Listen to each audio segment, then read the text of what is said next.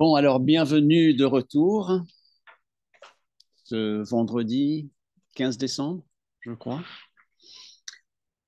Euh, je parlais donc d'une nouvelle méthode critique qu'on pourrait mettre sous la rubrique d'une praxis philosophique immersive qui aurait des éléments donc de pratique praxis, d'expérience, de matérialisme, utilisant des concepts qui ne soient pas trop totalisantes, en situation, engagée politiquement, avec la boussole morale d'Aristide de Sousa Mendez.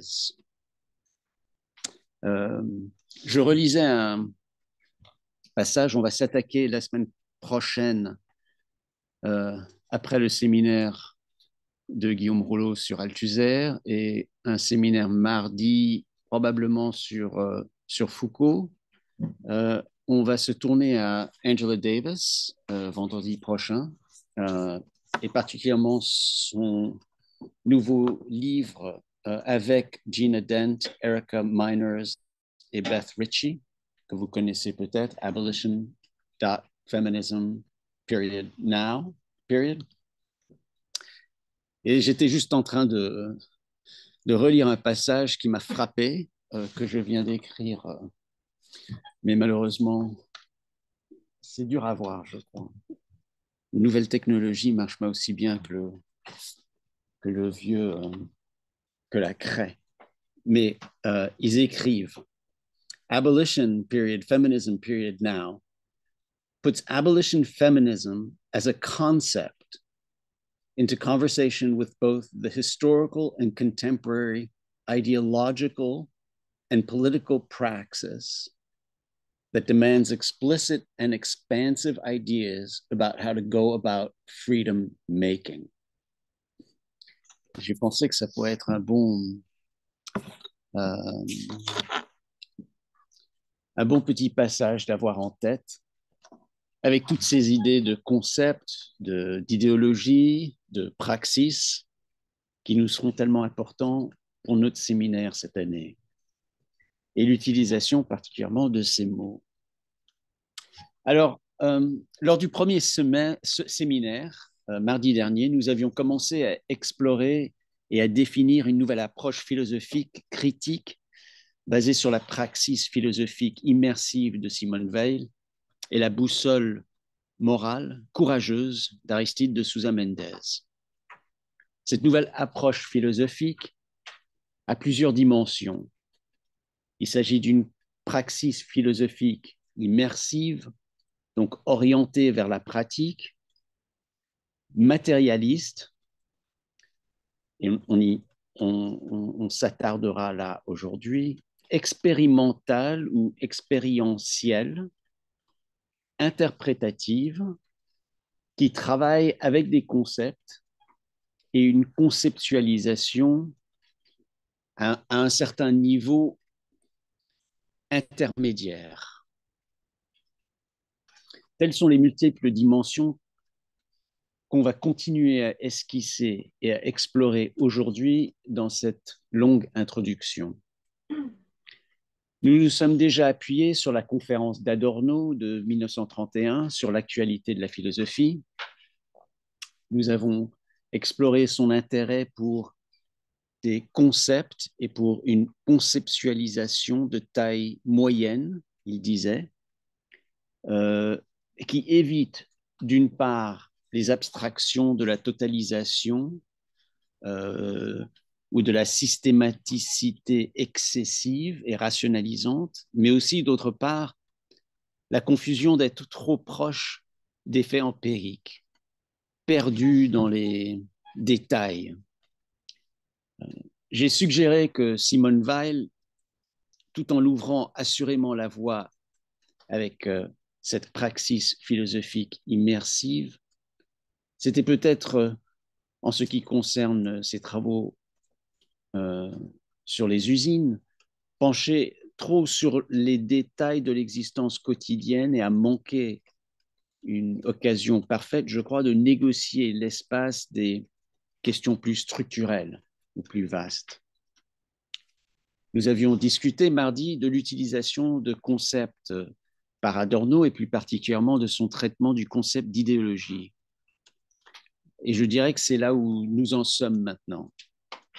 Euh, c'est parfaitement lié à notre autre séminaire, celui de Guillaume Rouleau sur la notion d'idéologie.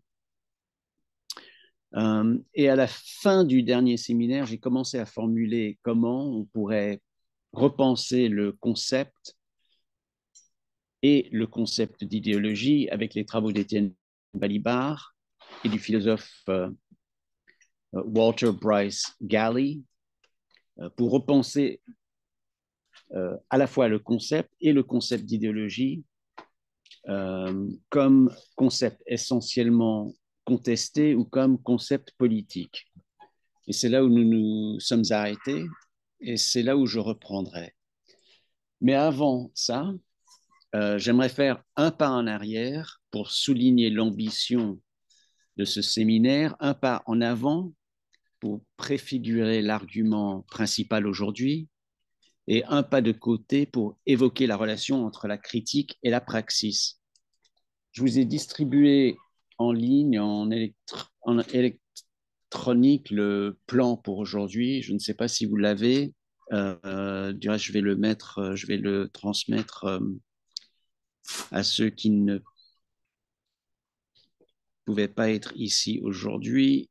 Donnez-moi une seconde, je peux le mettre dans le chat. Euh, et donc, euh, pour mieux suivre, si vous avez le plan, ça vous aidera peut-être. Bon. Alors, euh, comme vous savez, cette année, le, projet consiste à donner du nouveau souffle à la théorie critique. Euh, pour ceux d'entre vous qui ne sont pas sûrs de ce que j'entends par théorie critique, euh, pour simplicité, je vous, renvoie, à certaines pages euh, du livre Critique et Praxis, page 162, 163, qui énumère les six éléments communs euh, d'une philosophie critique.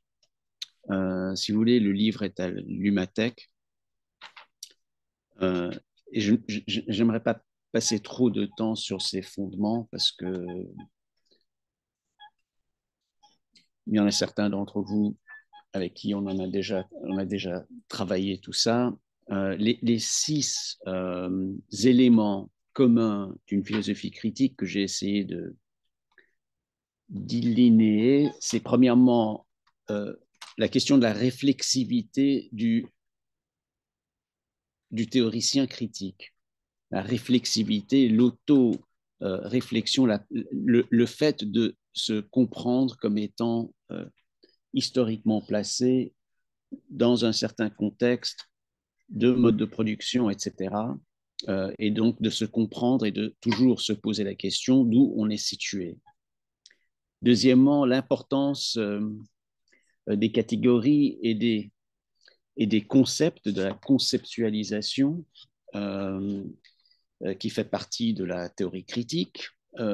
troisièmement, c'est une méthode particulière, souvent, pas toujours, mais une méthode particulière de la critique immanente, donc de rentrer dans l'objet qu'on critique euh, pour faire une critique à partir des, ambitions même et des contradictions dans cet objet.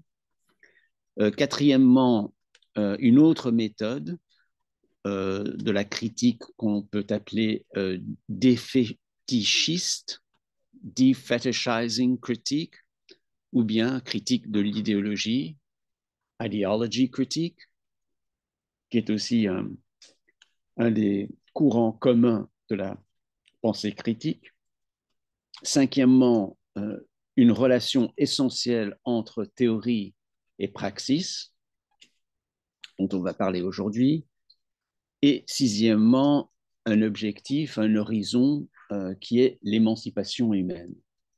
Bon, ce sont ces, ces six éléments communs d'une théorie critique qui, qui guide nos réflexions, mais qui nous, avec dans ce séminaire, l'ambition, c'est de, c'est de donner un nouveau souffle euh, à cette, euh, cette approche critique. Alors, un pas en arrière. Euh, l'ambition de ce séminaire, comme je viens de dire, c'est de découvrir peut-être une meilleure approche critique pour aborder de manière constructive les crises qui nous entourent. Comme vous le savez peut-être, dans d'autres euh, recherches, je suis en train d'essayer d'élaborer euh, le concept de coopération et de l'idée d'un régime de coopérisme. Ça, c'est du travail constructif. Euh, j'en parlerai à un autre moment. Et pour l'instant, dans ce séminaire, on essaie de comprendre comment utiliser la théorie critique, à la fois son histoire et son présent, pour stimuler ou motiver ces efforts constructifs, dans mon cas, pour motiver la coopération. Lors du séminaire euh, mercredi soir à l'Université américaine de Paris, euh, et merci à ceux d'entre vous qui étaient là, j'ai abordé des questions sur la manière d'instaurer les formes de coopérisme, euh, de coopération euh, qui sont au centre de, mes autres recherches. Et cela m'a amené à réfléchir à la manière dont la crise climatique pourrait représenter une transformation de l'histoire, une transformation de l'histoire des êtres humains qui pourrait les obliger à coopérer. Euh, tout repose sur une notion d'interdépendance, de, nouvelle interdépendance. Euh, nous vivons dans un, un moment sans précédent, vraiment, d'interdépendance créée par la crise climatique qui déstabilise radicalement toutes les théories politiques que nous avons développées au cours des siècles passés. Les théories de l'individualisme, les théories de l'autonomie, les théories de la conquête de la nature par l'homme.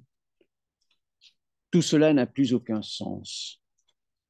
Nous vivons donc une forme radicalement nouvelle d'interdépendance humaine qui ébranle fondamentalement toutes ces philosophies du 18e, du 19e, du 20e siècle. Et donc, on pourrait imaginer qu'on est en train de vivre à travers une transformation historique à un niveau mondial, presque d'un type hegelien.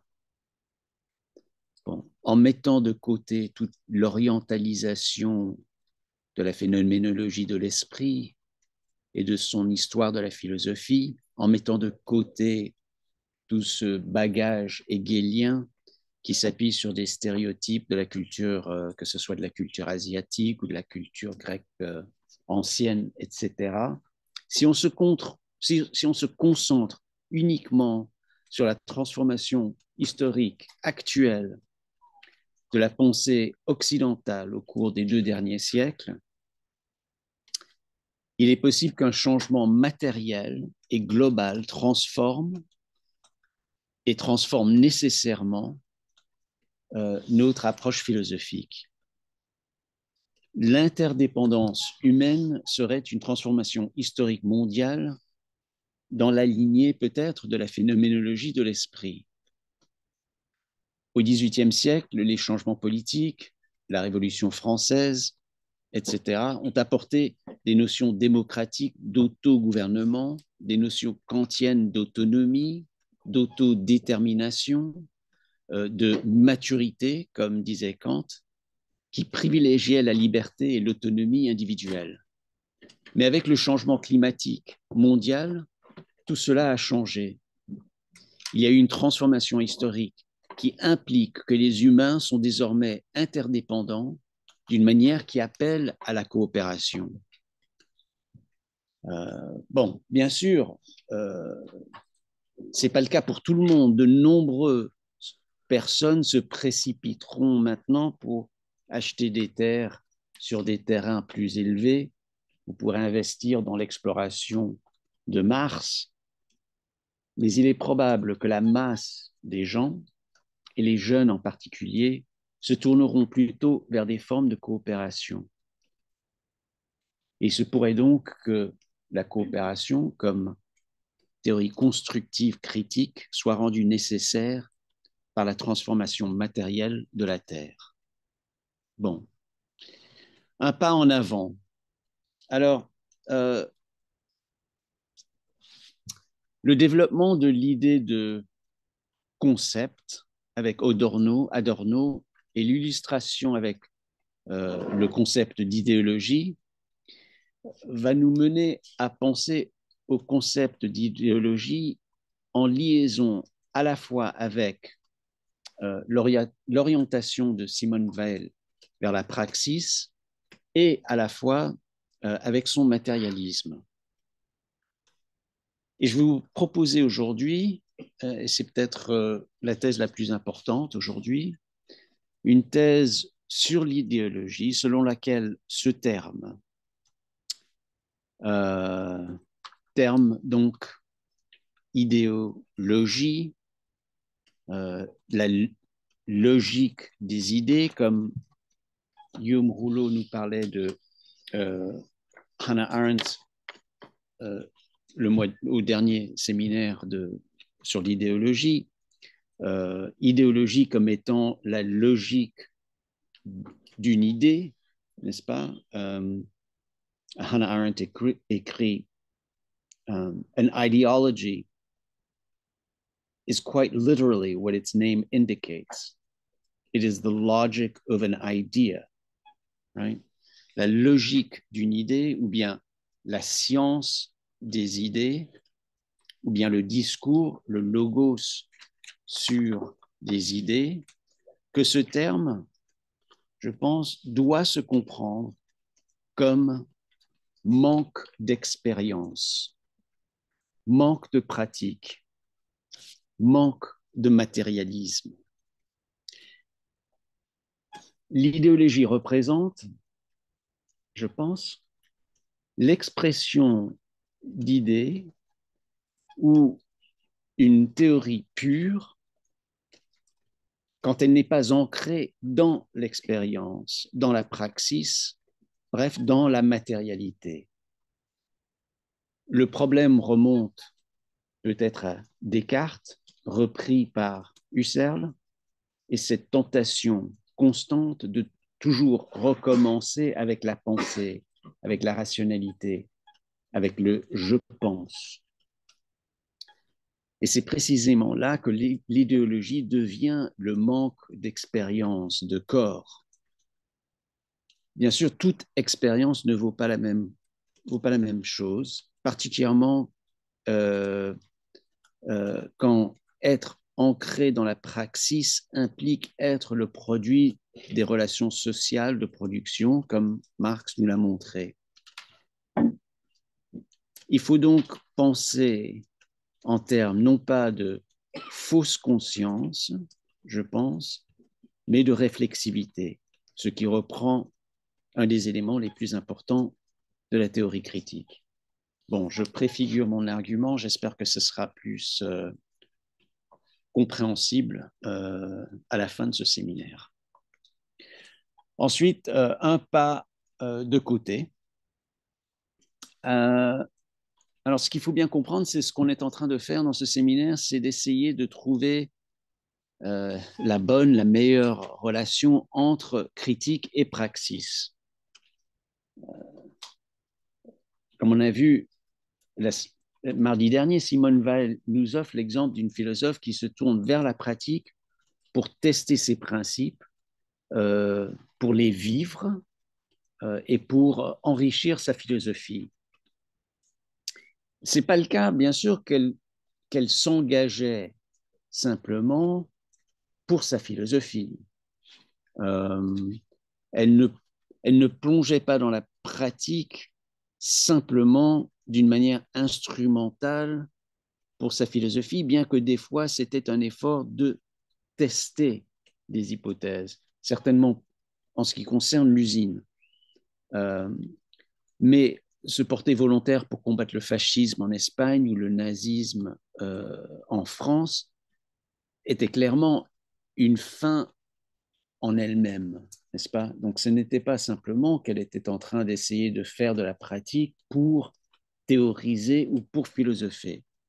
Néanmoins, euh, Weil était une intellectuelle qui gravitait autour ou bien dans la pratique, n'est-ce pas? Je veux dire, elle venait d'un monde, euh, elle venait d'un monde universitaire et d'un monde philosophique pour se retrouver dans un monde pratique. Ce n'est pas toujours le cas, mais c'est souvent le cas, même avec des penseurs qui sont, même, je dirais, plus engagés pratiquement. Angela Davis, par exemple. Vous savez, Angela Davis a étudié la philosophie à Francfort, elle a participé au séminaire d'Adorno, elle a rédigé, sa thèse sous la direction de Herbert Marcuse à l'Université de Californie à San Diego. Euh, du reste, euh, sa thèse a été confisquée par le FBI, ce qui veut dire qu'elle n'a jamais finalement rendu cette thèse en Californie. Et elle obtiendra des doctorats honorifiques en Europe plutôt. Euh, et ensuite, elle avait été nommée professeure assistante de philosophie à UCLA, euh, à Los Angeles, en 1969. Bon, euh, en même temps, enfin, et, en 69, c'est là où sa vie commence à être vraiment très tourmentée. Euh, elle est licenciée euh, deux fois par euh, l'université, par l'État de la Californie qui gère l'université de UCLA. D'abord parce qu'elle était communiste, donc elle se fait licencier pour être communiste, et ensuite elle se fait licencier pour son, pour son langage. des guerres de mots, encore une fois. Euh, avant, euh, avant qu'elle se, avant qu'elle devienne euh, sujet d'un mandat d'arrêt par la FBI pour en ce qui et, c'est en 1970 donc très, rapidement qu'elle qu'elle devient fugitive et donc entièrement presque en, praxis, euh, malgré euh, elle-même. C'est en août 1970, euh, à cause de, des accusations qu'elle avait été, enfin que c'était ces, armes qui avaient, qui avaient été utilisées par Jonathan Jackson, le frère de George Jackson, qui tentait une évasion euh, lors d'une audience euh, euh, au tribunal et qui a entraîné l'enlèvement et, éventuellement la mort du juge. et donc, c'est à ce moment-là qu'elle devient fugitive et éventuellement prise. Et, sa vie a changé. Elle, bien sûr, elle, avait, déjà, elle s'était déjà lancée, elle avait déjà plongé sa vie dans l'activisme avec les euh, Black Panther Party euh, avant sa fugitivité. Euh, mais c'est vraiment l'expérience, c'est vraiment cette expérience d'être incarcéré qu'il a ensuite immergé dans une pratique révolutionnaire et qui a conduit finalement à une vie presque entièrement guidé par la praxis. Dans son cas, donc, la praxis, euh, c'est plutôt la enfin, c'est dur de dire que c'est, c'est, différent, je dirais, que Simone Veil. Euh, bien sûr, c'était une intellectuelle, mais c'était ce, ce, son engagement euh, dans la pratique qui finalement a nourri son travail abolitionniste. Euh, donc, il y a ici un va-et-vient entre, entre la critique et la praxis.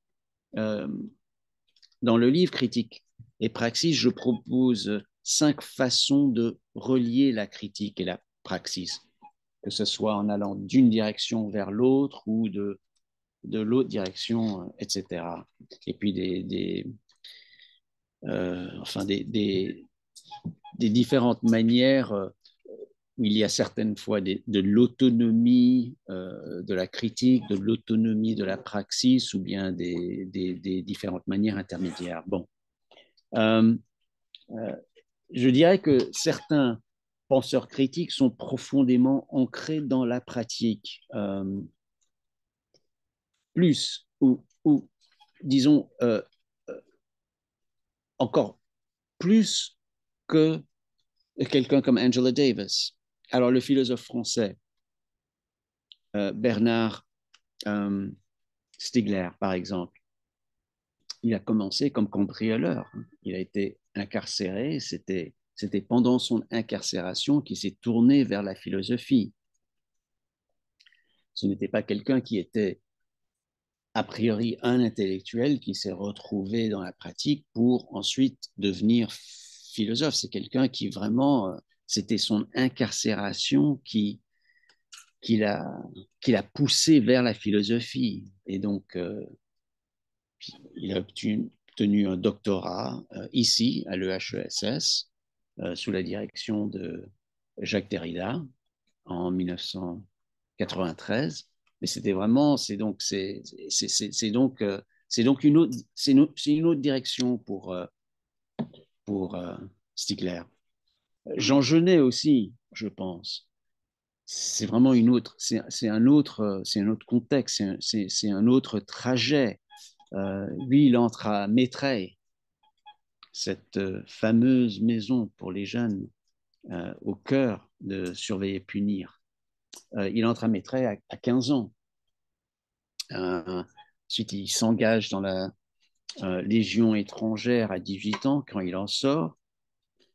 Et après la Légion étrangère, c'est toute une série de retours en prison. Et ce sont ces immersions-là qui ont formé sa pensée philosophique.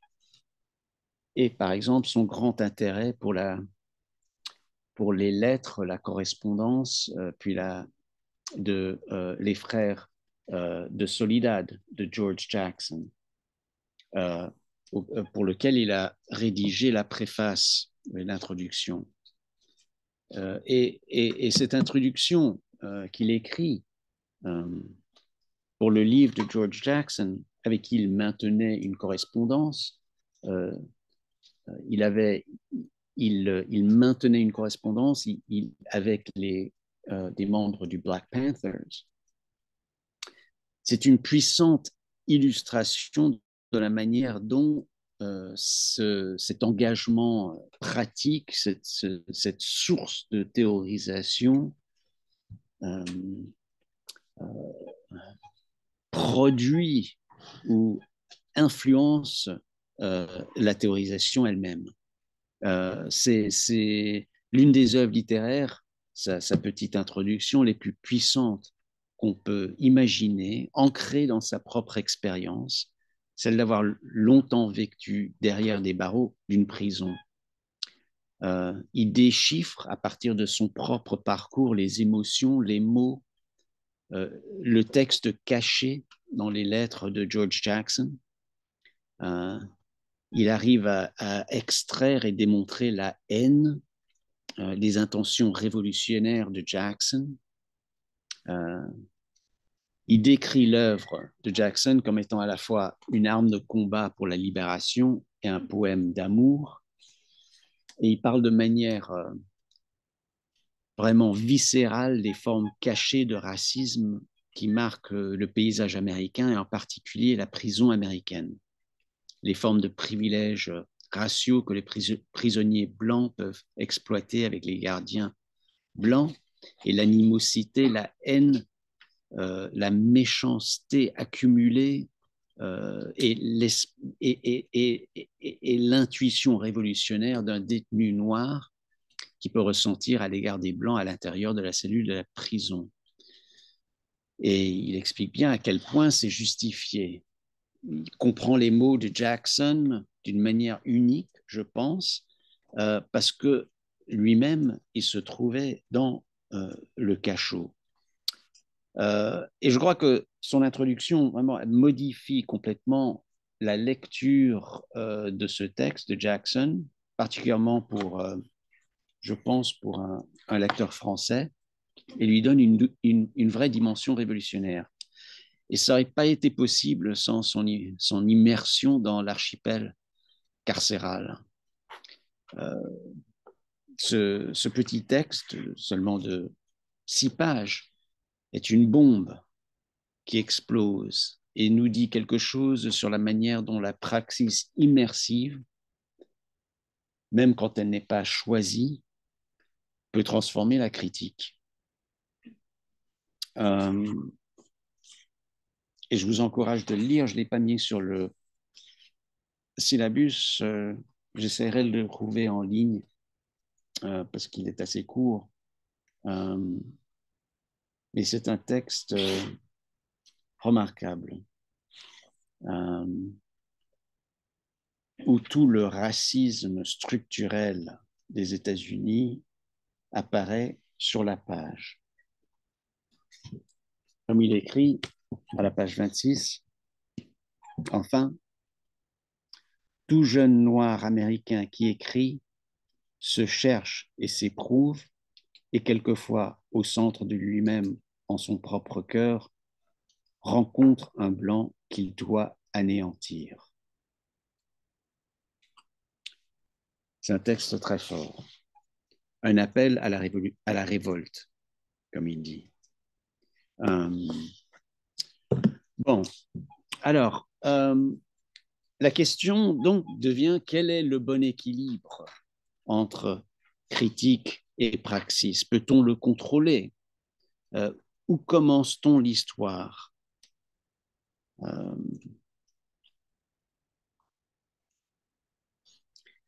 Est-ce que ça échappe même à notre contrôle? Bon, dans le cas de Genet, c'était pas volontaire, n'est-ce pas? Euh, Dans le cas d'Angela Davis, ce n'était pas volontaire non plus. Euh, donc on ne peut pas nécessairement contrôler, mais d'autre part, on peut essayer d'équilibrer, de, euh, de, travailler à une manière à s'immerser dans la praxis. De toute façon, ce qui est clair, c'est que cette confrontation entre critique et praxis, ce va-et-vient, euh, est une des manières les plus productives et les plus constructives d'aborder euh, les crises. Et je crois que on le voit chez les penseurs critiques euh, les plus importants. On le voit par exemple chez W.E.B. Du Bois, qui de sa propre de, son propre vivant, de ses propres expériences, hmm, euh, a pu développer des théories sur euh, la façon dont euh, le droit pénal vraiment a supplanté le droit de la propriété en tant que principal outil pour rétablir les conditions d'esclavage aux États-Unis après l'émancipation. Hmm. Euh, euh, c'était vraiment ses propres expériences qui lui ont donné euh, la possibilité de théoriser la transformation émancipatrice comme étant un retour à l'esclavage à travers des techniques comme ce qu'on appelle aux États-Unis convict leasing. donc, plutôt que l'esclavage, quand l'esclavage a été terminé, dans les États du Sud, ils ont mis en place convict leasing et des prisons, des, des, plantations de prisons. Effectivement, ce qui faisait, c'est d'accuser quelqu'un d'avoir commis un crime pour ensuite le mettre en prison ou la mettre en prison. ça se faisait avec des femmes et des hommes noirs. Et ensuite de les, de les, de les, de les, en fait, de les, de les louer comme travailleurs pour, le, pour, euh, pour les plantations. Et donc, c'était toute une manière de réétablir l'esclavage. Et même, et, on peut voir des, des, notices dans les, dans les journaux après l'émancipation où il, il, va y avoir des, des ventes en chair euh, pour louer euh, les euh, condamnés. Hmm? Et c'est donc plutôt que d'acheter une personne et de la mettre en esclavage, c'était de louer la personne pour un an, mais c'était exactement le même principe. C'était c'était à travers ses, ses propres expériences qu'il a pu retrouver cette, cette théorisation, c'était à travers toutes les expériences de coopération euh, au sein de la communauté afro-américaine, dans les églises, dans les écoles, dans les coopératives de travail, dans les mutuelles d'assurance, dans les sociétés secrètes même, euh, qu'il a pu euh, documenter dans ses études, une étude de 1907 sur la coopération économique entre afro-américains, qui a inspiré donc aussi sa théorie sur euh, la nécessité d'une société coopérative séparée euh, afro-américaine euh, en 1935. Donc c'était vraiment ce va-et-vient entre sa pratique, ses études qui inspirait sa théorisation. Même chose pour Angela Davis, comme on va voir très bien la semaine prochaine. Sa, déconstruction du lien entre crime et châtiment au début des années 1970, ça se fait en prison, vraiment, euh, et, ça, et ça ébranle sa pensée et, et ça produit euh, éventuellement abolition feminism. Euh, on peut voir la même chose chez, chez, Foucault quand il se lance dans le groupe d'information sur les prisons en 1970, 71. c'est en même temps qu'il est en train de, de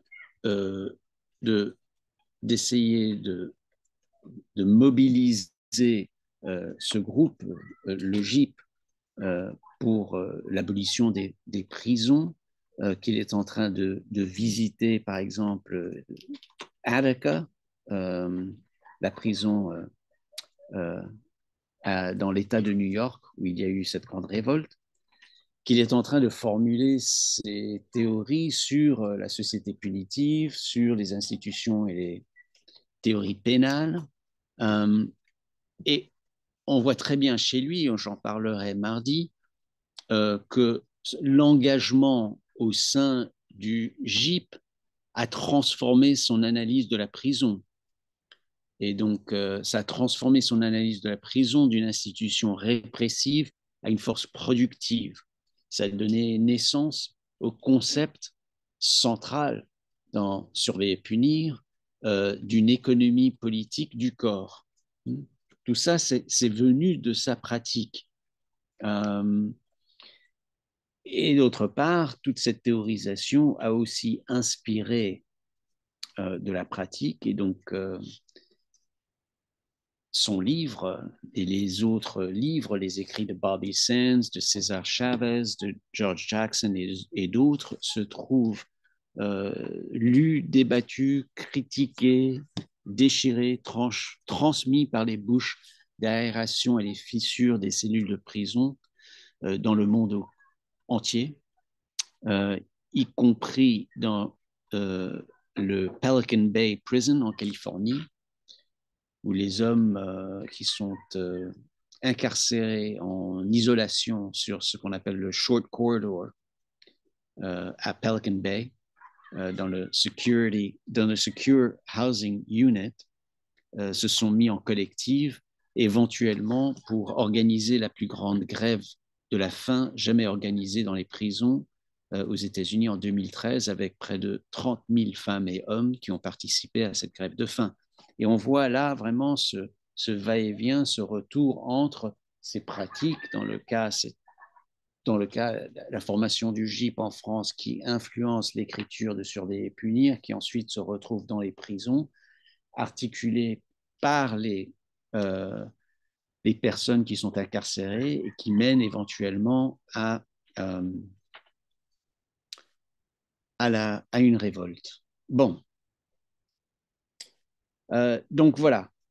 Euh, je crois qu'il est que ça c'était le pas de, côté pour, euh, pour dire qu'on se situe dans ce séminaire vraiment dans la relation entre critique et praxis et on est en train d'essayer de, continuer à développer, d'élaborer ou d'essayer de retrouver le bon équilibre. Bon, alors reprenons euh, avec, et là on récapitule un peu sur Adorno pour aller sur, sur, le, concept et la conceptualisation. Alors, euh, pour Adorno, comme on a vu euh, mardi dernier, la tâche principale de la philosophie est donc de travailler avec des concepts intermédiaires afin de forger des interprétations qui répondent à nos questions philosophiques. Et ce processus ouvre de nouvelles interprétations. Adorno discute spécifiquement trois concepts. Le concept de la structure de la marchandise, le concept de classe et le concept d'idéologie. L'idéologie, dit-elle, doit être comprise comme un moyen d'aborder la question de la vérité ou de la fausseté du contenu des idéologies. Elle n'est pas utile en tant que simple terme qui décrit des façons de voir le monde. En d'autres mots, on ne peut pas faire simplement une sociologie des idéologies comme Karl Meinheim l'a fait. Elle doit nous permettre euh, une emprise sur la question de la vérité. Alors, euh, Adorno qualifie l'idéologie de concept d'un des concepts les plus importants pour, faire de l'interprétation philosophique. Euh, Étienne Balibar euh, il, euh, il tend aussi à qualifier l'idéologie de concept, mais pour lui, je pense que ce serait plutôt un concept essentiellement contesté, s'appuyant donc sur les travaux de euh, Gali dans son essai sur... alors là, c'est Étienne Balibar, c'est son essai sur concept dans le journal, la revue Political Concepts où il se réfère au travail euh, de Gali euh, sur euh, Essentially Contested Concepts qu'il avait présenté à la Société Aristotelian Society.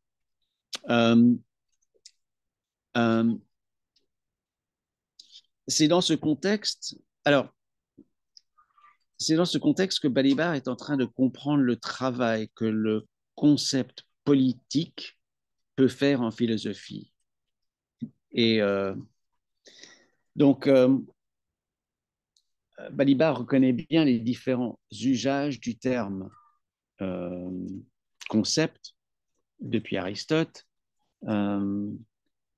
mais pour lui, il reste, il, se dit très obstinément attaché à son usage, dit-il, pour signifier une activité intellectuelle.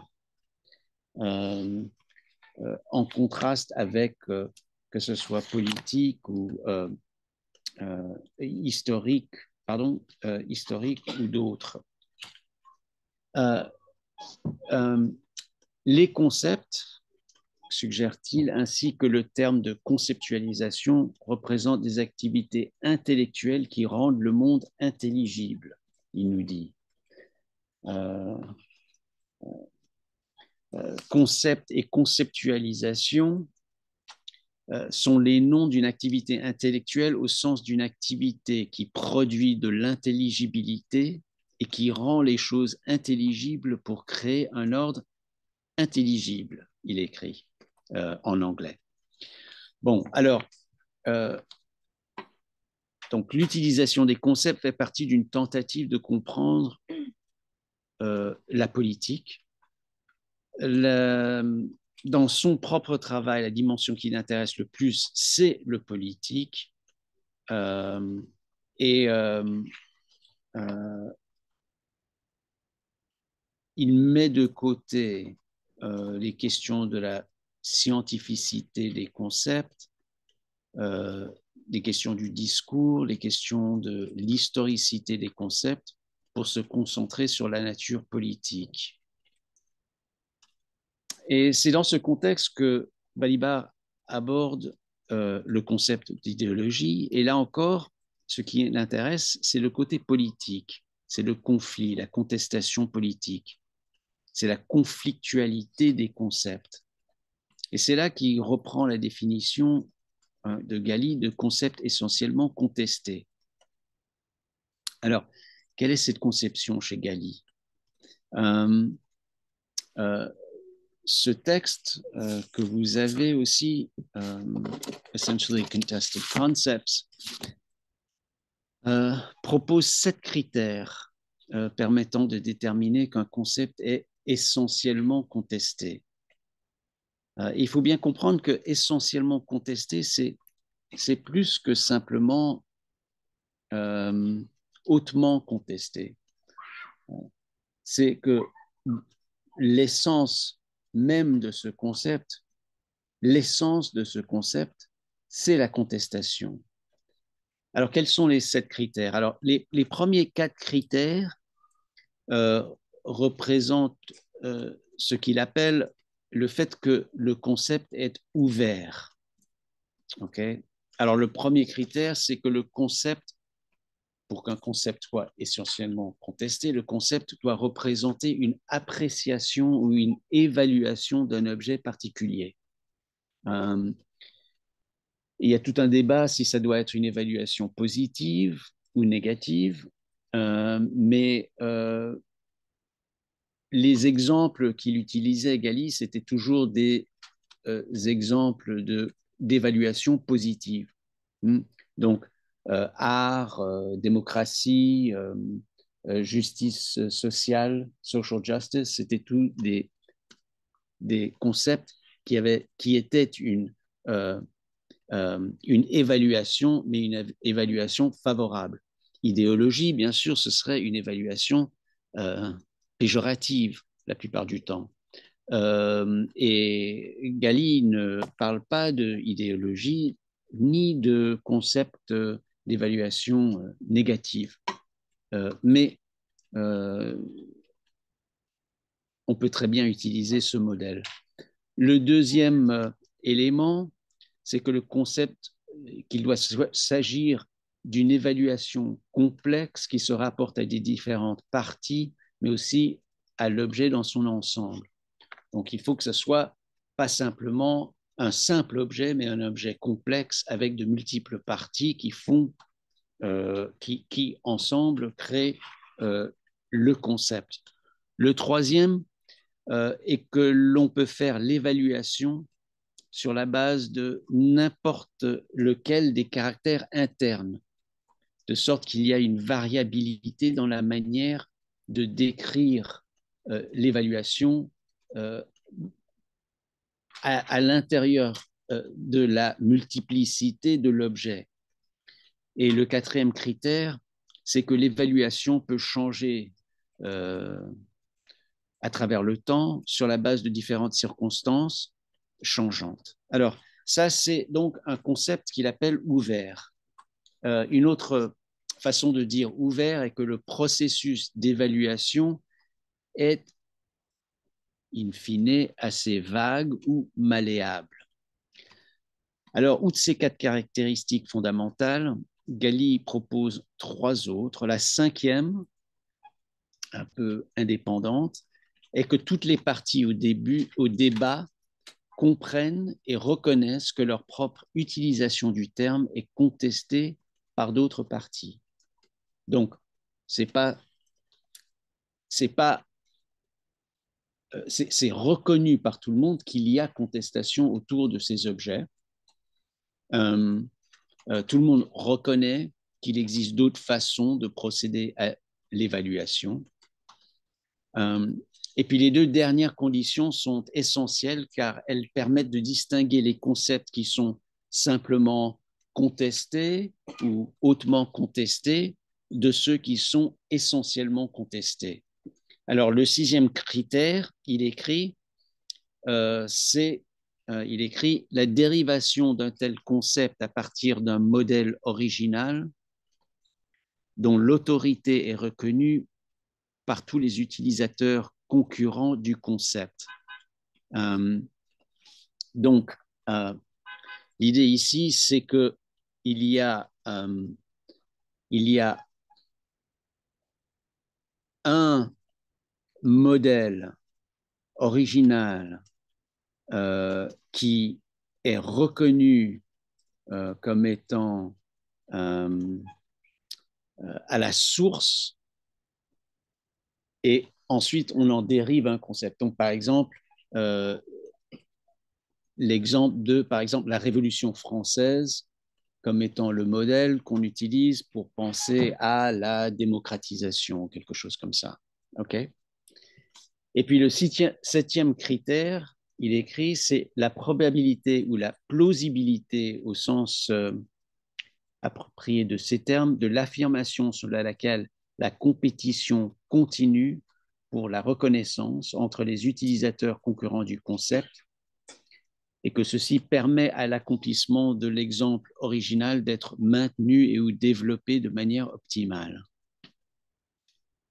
Alors, l'idée de fond ici, pour le dire en termes un peu moins formels, c'est que les parties comprennent qu'il y a contestation du concept, mais ils croient que le concept remonte à un exemplaire originel et qu'il y a le potentiel d'utiliser cet exemple originel dont dérive le concept euh, qu'il y a le potentiel de nous en servir au mieux dans le présent. Ok, c'est pas simplement c'est pas simplement une évaluation favorable, mais en fait l'idée que on peut se servir de ce concept pour mieux, pour le mieux comprendre euh, notre présent. All right. Euh, alors, euh, Balibar euh, reprend cette formulation pour essayer de comprendre le concept d'idéologie. Et donc, idéologie comme étant pas simplement quelque chose qui serait contesté, mais dont l'essence même est le fait qu'il serait contesté. En d'autres mots, le concept d'idéologie est utilisé parce qu'il est contesté et parce qu'il suscite la contestation. Euh, il n'est pas utilisé pour partager une compréhension d'une situation politique. Il n'est pas utilisé pour favoriser un consensus. Il n'est pas utilisé pour essayer de convaincre tout le monde que c'est la bonne définition et utilisation du concept d'idéologie. D'une certaine manière, il est utilisé pour favoriser le dissensus plutôt que le consensus. Euh, alors, euh, Balibar écrit euh, à la page, euh, enfin, c'est pas numéroté, mais c'est vers la page 7 quand on imprime son texte. Euh, il écrit L'idée est que l'impossibilité extérieure de parvenir à un accord universel sur l'usage et la signification de certains concepts révèle en fait une caractéristique intrinsèque de cette signification qui génère précisément le processus infini ou interminable de leur contestation constante. C'est aussi la raison profonde de leur utilisation, il écrit. Ils ne sont pas utilisés en dépit de leur caractère conflictuel, mais précisément en raison du dissensus qu'ils provoquent et cristallisent. Pour le dire avec un peu plus de force, ces concepts ne sont pas faits pour réconcilier les points de vue, mais pour les diviser et pour favoriser les controverses, sinon les antagonismes. Bien. Alors, euh, qu'est-ce que ça impliquerait euh, Ce que ça impliquerait, en fait, c'est que l'utilisation de ce concept d'idéologie serait en fait une arme politique dans un combat politique euh, qui n'a comme but non pas de persuader tout le monde, mais de rassembler, euh, de rassembler ses forces, de rassembler ses, militants, de rassembler son armée, n'est-ce pas? Euh, Bon. Euh, bon, Balibar, il, il, propose aussi d'autres d'autres manières de penser les concepts qui pourraient aussi s'appliquer, qui, qui s'appliquent au concept d'idéologie. Il, il utilise l'ouvrage de Reinhard Koselleck de 1975 qui traite de l'idéologie dans le cadre de la sémantique historico-politique des concepts antithétiques asymétriques. Euh, et puis l'autre ouvrage qu'il utilise, c'est euh, le Georges Canguilhem, euh, Qu'est-ce que l'idéologie scientifique, auquel je reviendrai dans un instant. Balibar ne tranche pas les disputes dans, ce texte. il, nous enrichit notre vocabulaire, il nous enrichit notre, notre philosophie, mais il, il nous laisse à la fin assez peu éclairés aux, implications. Euh, mais je, pense que ce qu'on peut retenir de cette discussion sur l'idéologie, euh, c'est bien qu'il s'agit d'un concept politique, mais plus que ça. Euh, concept politique, c'est important, bien sûr, et ça fait partie du, projet même euh, dans lequel se situe ce travail.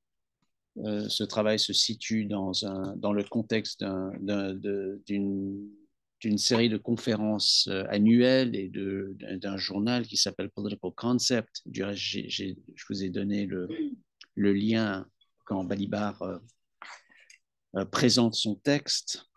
Euh, vous pouvez l'entendre, et les questions qui ont suivi. Mais c'est plus que simplement politique. Euh, je dirais que c'est une certaine forme de politique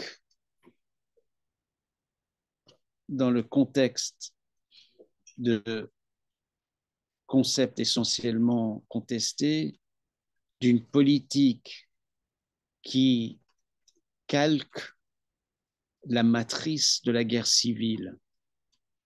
Hmm. Euh, et dans ce contexte-là, ça c'est bien sûr la matrice de la guerre civile, c'est Foucault, euh, Foucault des années 71, 72, 73, qu'on verra mardi. Euh, c'est le, Foucault de, la société punitive, des institutions pénal où il essaye de démontrer que les relations de pouvoir euh, doivent être comprises sur la matrice de la guerre civile. Et je, crois que c'est ça euh, essentiellement que nous donne ce concept euh, de essentiellement contesté.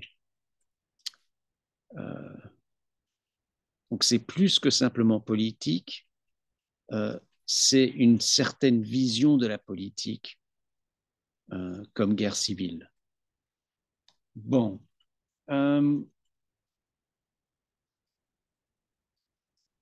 L'idéologie alors serait un cri de guerre presque, lié à une certaine vérité. Euh, et à la prise de parti. Bon. Euh, je vous avais aussi proposé un texte que j'avais écrit pour la même conférence euh, sur le concept de contre, du mot contre, l'utilisation d'une conceptualisation euh, euh, qui utilise la, le préfixe contre. mais je vais passer sur ça. Vous avez le texte. Euh, je pense que c'est lié en partie, bien sûr, c'est très lié à la pensée de Balibar. C'est vraiment Balibar et Foucault qui utilisent le concept contre le plus. Hmm. Euh, et euh, on, l'entend un peu du reste dans Balibar quand il parle de Kosalek et du, en allemand le, le contre-concept, euh, Gegenbegriff, hmm, euh, ce qui donne le contraire ou l'opposé, l'antonyme. Euh, mais bon, je vais passer sur ça. Vous avez le texte. Ce qui m'intéresse dans cette dans ce texte aussi, c'est la relation à la vérité. Euh, alors, euh, euh, c'est bien la question de la vérité que Adorno avait soulevée dans son texte, vraiment, vous vous rappelez, en ce qui concerne idéologie. vous vous rappelez que sa critique de Mannheim c'était que euh, qu'on a émoussé toute l'acuité des concepts les plus importants, celui de l'idéologie, en le déterminant formellement comme assignation de contenu de conscience déterminé à des groupes déterminés, sans même plus laisser surgir la question de la vérité ou de la non-vérité de ces contenus. Euh, alors, euh, où se retrouve, où est-ce qu'on retrouve la, question de la vérité? Chez, Balibar, on la retrouve quand il commence à euh, poser sa troisième référence, qui est euh, le texte de Canguilhem sur qu'est-ce que c'est qu'une idéologie scientifique. Euh, qu'est-ce qu'une idéologie scientifique? Un texte de 1969. Euh, alors, alors donc j'aimerais euh, m'arrêter quelques instants sur ce texte de Canguilhem que vous avez sur l'idéologie scientifique parce que il est assez clair que dans ce texte, dans ce texte-là, c'est la vérité qui joue le rôle le plus important. Euh, euh, et d'une certaine manière, on pourrait presque dire que l'idéologie scientifique pour Canguilhem est, est, est contrastée avec euh, la science qui pour lui représente la vérité. Alors,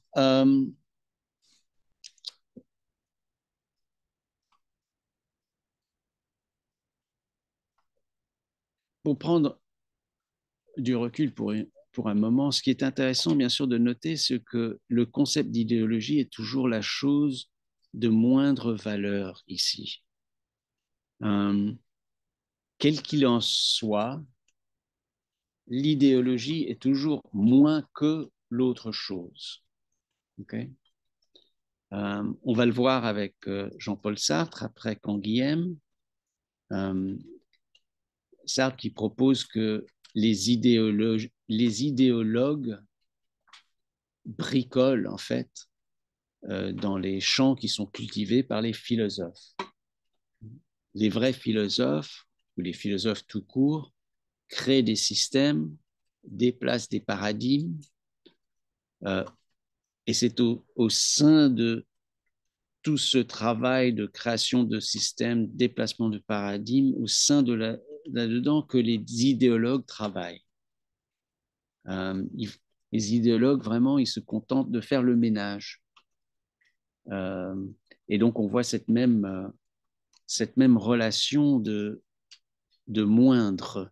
C'est toujours moins que l'autre chose. Pour Ganguiem, l'idéologie scientifique est le précurseur historique de la science et de la, ville, et de la vérité. Et donc joue aussi ce même rôle d'être euh, moindre que la science. L'idéologie scientifique est le tâtonnement dans l'espace qu'occupe ensuite ou autre part la science, une fois que la découverte scientifique est faite. Euh,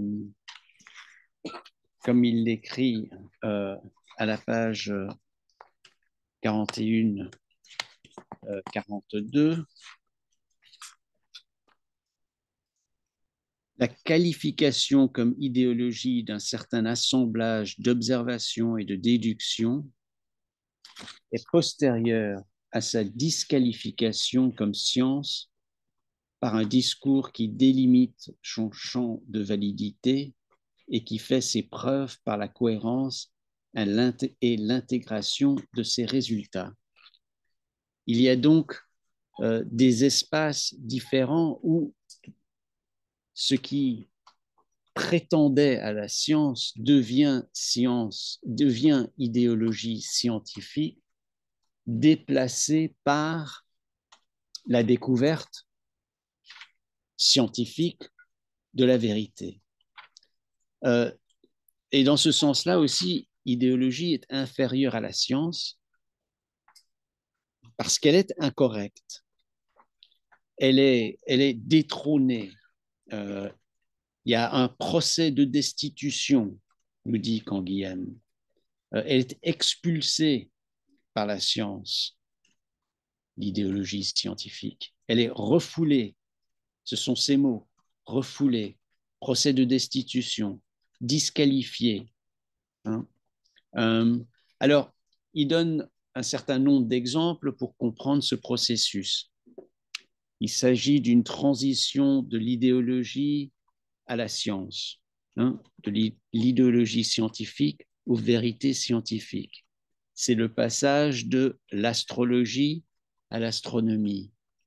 C'est le passage de l'alchimie à la chimie c'est le passage des théories de l'âme, de l'esprit, de la conscience à la psychologie, la science de la psychologie.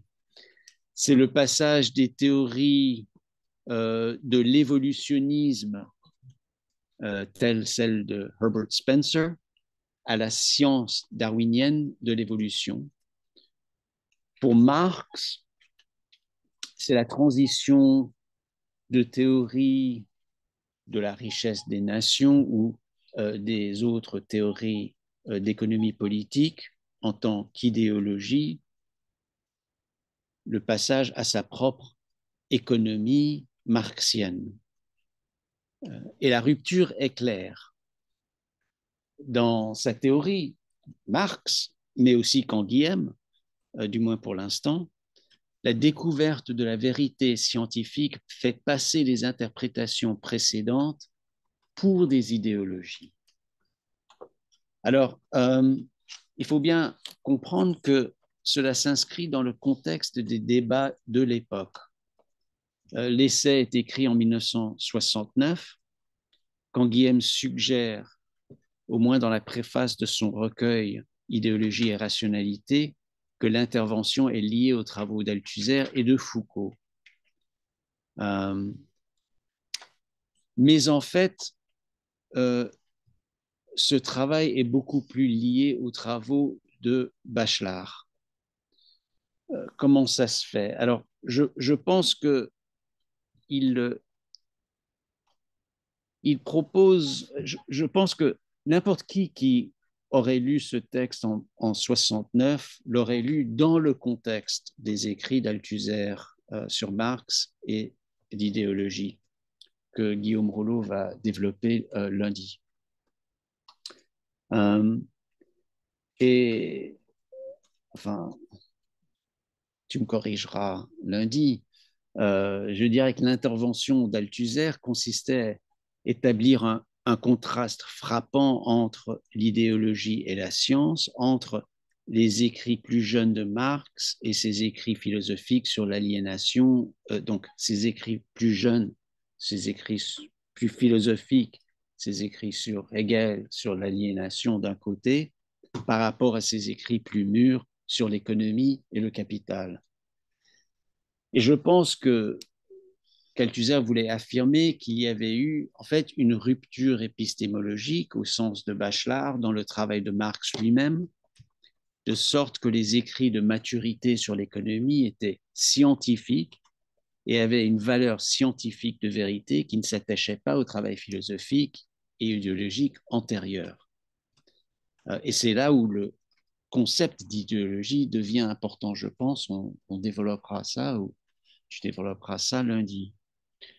Euh, donc, euh, pour, qui que ce soit qui aurait lu Althusser ou qui aurait Althusser en arrière-plan, euh, il aurait pensé qu'il s'agissait d'un un oxymoron, un oxymore en français, je pense, de parler d'une idéologie scientifique, puisque ce sont simplement des contraires dans la pensée d'Althusser. Ou bien c'est de l'idéologie, ou bien c'est de la science, mais il ne peut pas y avoir une idéologie scientifique. Euh, serait une contradiction euh, dans les termes. Euh, et bien sûr, quand Guillaume le note expressément, lorsqu'il écrit à la page 36 en français que cette idée d'idéologie scientifique est une monstruosité logique. et il, ajoute bien, il reconnaît que Marx lui-même euh, euh, maintenait cette distinction et maintiendrait cette distinction qui mènerait donc à cette, cette monstruosité. Euh, comme il écrit euh, euh, à la page 36 au sujet de, Marx, il écrit euh, Dans l'idéologie allemande, Marx oppose catégoriquement les idéologies politiques, juridiques, économiques, religieuses à la science économique, c'est-à-dire à celle qui en qu'il entend constituer. Idéologie scientifique, ce serait donc monstre logique. Par définition, toute idéologie est un écart au double sens de distance et de décalage, distance de la réalité, décalage relativement au centre d'investigation à partir duquel elle s'imagine procéder. Bon, donc l'opposition entre idéologie et science est donc présente chez Marx, selon Canguilhem, mais aussi chez Althusser, peut-être selon Canguilhem, silencieusement. Alors, euh, c'était bien sûr le contexte contemporain, mais, euh, mais, mais ce qui est clair du texte même, c'est qu'il existe aussi une opposition historique plus importante que Canguilhem établit avec le travail de Gaston Bachelard et c'est Bachelard qui représente l'interlocuteur le plus important pour Canguilhem dans ce texte. Et, euh, euh, il le cite et il conclut avec euh, Bachelard parce que, en effet, Canguilhem doit se défendre contre l'argument de Bachelard des années 1930-1940, selon laquelle l'idéologie scientifique ne devrait pas faire partie de l'histoire des sciences n'a pas un rôle à jouer dans l'histoire des sciences et ne devrait pas être étudié. Et ça, c'était la position de Bachelard. Le fait est que quand Guillaume lui-même avait fait de l'idéologie scientifique une partie intégrante de son histoire des sciences. Euh, il avait déjà publié plusieurs ouvrages qui étudiaient efficacement ce qu'il appelait, ou ce qu'il appellerait ici idéologie scientifique, ne l'ayant pas appelée idéologie scientifique quand il avait fait ce travail. L'un de ses ouvrages les plus célèbres s'intitule La formation du concept de réflexe au XVIIe et XVIIIe siècle, où il étudie euh, la relation entre notre usage actuel du terme réflexe euh, et les idéologies scientifiques antérieures, telles que les théories de Descartes sur les mouvements involontaires. Alors, la position de Bachelard est que l'histoire des sciences peut et doit se passer de l'étude des idéologies scientifiques, de ses précurseurs euh, à la science. Et euh, sa position repose sur cette idée fameuse d'une rupture épistémologique, parce que ces formes de pensée antérieures constituaient un obstacle aux découvertes scientifiques. Enfin, l'obstacle est aussi euh, le terme important pour Bachelard. La science a réussi à surmonter ces obstacles grâce à un processus de rupture épistémologique. Cela implique qu'il n'est pas important d'étudier ces idées antérieures, erronées, euh, ou ce que Canguilhem appelle maintenant idéologie scientifique. Donc, l'intervention principale de Canguilhem dans cet essai est de soutenir contre Bachelard euh, que la, meilleure approche de l'histoire des sciences doit inclure l'étude des idéologies scientifiques et l'imbrication de la science et de l'idéologie. Et c'est ça, bien sûr, sa conclusion. C'est là où il aboutit. Euh, quand il écrit, par exemple, à la page 45, euh, l'entrelacement de l'idéologie et de la science doit empêcher de réduire l'histoire d'une science à la platitude d'un historique, c'est-à-dire d'un tableau sans ombre de relief. N'est-ce pas? En d'autres mots, d'ignorer les idéologies scientifiques, ça réduit l'histoire d'une science à des platitudes sans relief. ok? Euh, et puis, euh, bon, il finit, il conclut euh, à ne vouloir faire que l'histoire de la vérité, donc l'histoire de la science, science égale vérité ici, à ne vouloir faire que l'histoire de la vérité, on fait une histoire illusoire. L'histoire de la seule vérité est une notion contradictoire. Pourquoi? Bon, il défend son travail, en fait. Euh, euh, il défend son travail, euh, et donc contrairement à Bachelard, qui est spécifiquement interpellé par son nom et une note de bas de page dans ses derniers paragraphes, il essaye de démontrer que, en fait, ça enrichit l'histoire des sciences d'étudier les idéologies. Alors, qu'est-ce qu'on pourrait, qu'est-ce que ça veut dire tout ça? Bon, alors je vais faire trois remarques, je crois. La première, euh, alors une première remarque, c'est intéressant de noter qu'il utilise à la fois les mots notion et concept pour parler d'idéologie. Euh, alors là, c'est à la page 21, euh, à la page 35, euh, pardon, dans la deuxième section. oui. alors, il commence, il commence avec l'utilisation du mot notion. Il commence par parler de l'idéologie comme une notion. Il dit la fortune aujourd'hui de la notion d'idéologie a des origines non douteuses. Elle tient à la vulgarisation de la pensée de Karl Marx. Euh, il s'agit donc ici, quand il est en train de parler de notion, il me semble, de l'idée intuitive, peut-être vulgaire, de l'idéologie. donc, euh, donc, il commence avec euh, quelque chose d'un peu flou qui tient à la vulgarisation de la pensée de Karl Marx. Mais c'est à ce moment-là, ensuite, qu'il définit avec précision ce concept. En fait, c'est avec cette définition et sa conceptualisation cristallisée qu'émerge le concept d'épistémologie. Euh, et il écrit L'idéologie est un concept épistémologique à fonction polémique appliqué, et donc ça c'est sa définition, un concept épistémologique à fonction polémique appliqué à ces systèmes de représentation qui s'expriment dans la langue de la politique, de la morale, de la religion et de la métaphysique. OK? Euh, Bon.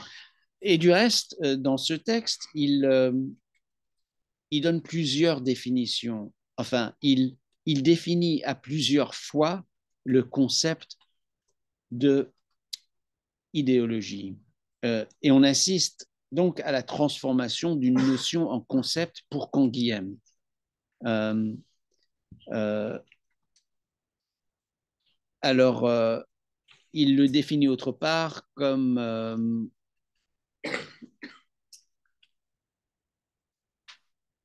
euh, très spécifiquement, il lui donne une définition avec une histoire. Alors ça, c'est la page 39 il définit l'idéologie scientifique.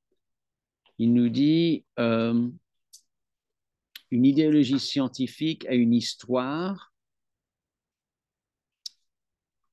Elle trouve une fin. Une idéologie scientifique trouve une fin quand le lieu qu'elle occupait dans l'encyclopédie du savoir se trouve investi par une discipline qui fait la preuve opérativement de la validité de ces normes de scientificité. OK?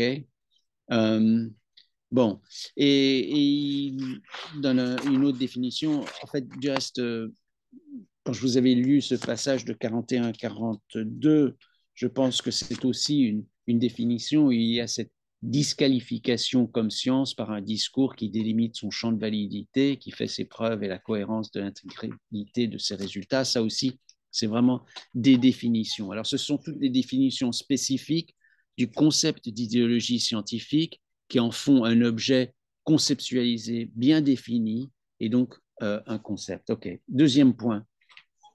Euh, en définissant ainsi euh, idéologie scientifique, quand Guillaume distingue les idéologies de les idéologies politiques, euh, par exemple euh, l'idéologie de classe, euh, ce qu'il appelle une idéologie politique de classe.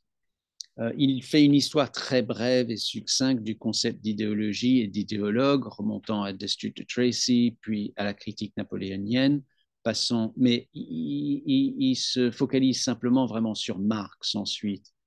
Euh, et, euh, et, il n'aborde vraiment seulement le Marx de euh, l'idéologie allemande, il ne développe pas l'histoire ultérieure des conceptions marxiennes de l'idéologie, mais il distingue les concepts politiques de l'idéologie, classe par exemple, et l'idéologie scientifique.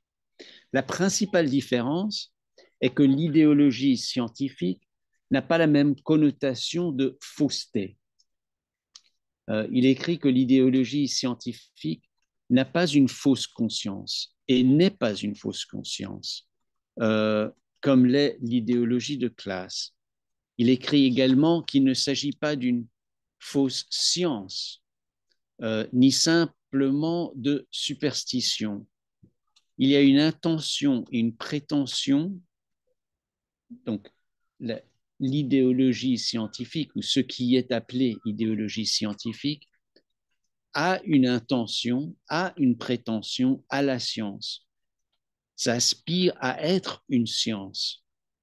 Euh, et, du reste, c'est pour ça qu'il nous dira dans ses conclusions que d'habitude, euh, scientifique se trouve non seulement euh, avant une science, dans le champ où la science viendra s'instituer, comme il dit à la page 44, mais il y a toujours une science avant une idéologie dans un champ latéral que cette idéologie vise obliquement. C'est donc cette idée que l'idéologie essaye d'être scientifique, veut être scientifique, ne veut pas être une fausse conscience euh, et n'est pas simplement superstition. Elle, elle, elle, ne, elle s'oppose à la religion et elle s'oppose à la superstition. Euh, euh, et dans ce sens-là, quand Guillaume, on dirait, pense que l'idéologie scientifique n'est pas malveillante à ses yeux, comme, comme peut l'être l'idéologie de classe.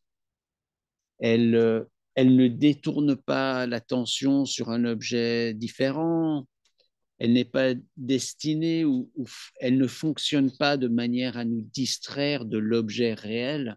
Elle est beaucoup plus inoffensive qu'une idéologie politique. Elle n'a pas pour fonction de nous égarer. C'est pas son intention de nous égarer.